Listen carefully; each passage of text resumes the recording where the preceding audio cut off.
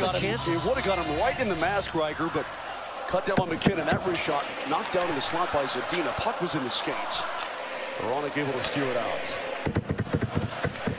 So MacKinnon obviously feeling better, feeling good about his game. That one-timer tonight, as right now, stands to be the game winner.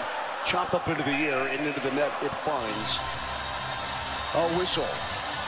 Tonight's game is brought to you by PointsBet. PointsBet gives you better odds and bigger payouts. Download the PointsBet app now and use code Denver100 to receive $100 in free bets when you bet just a dollar.